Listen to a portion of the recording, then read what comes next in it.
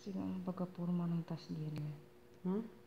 Anong pagkapurma ng tasgir mo, yun ang magiging resulta niya. Hmm.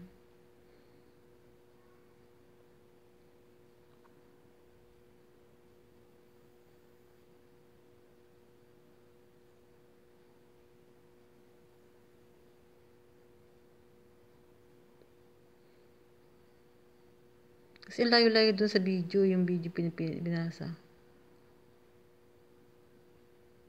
Eh, maganda naman ang kilay no, kahit hindi nalagyan eh.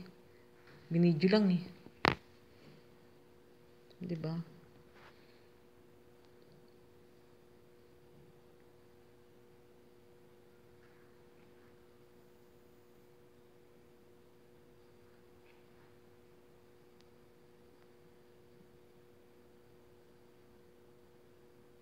Kailangan ito yung kamay mo. Hindi pasmado. Magaan. Kaya nga eh.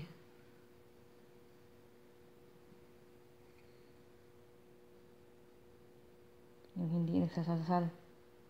Yun lang. Kasi pag nagsasalsal,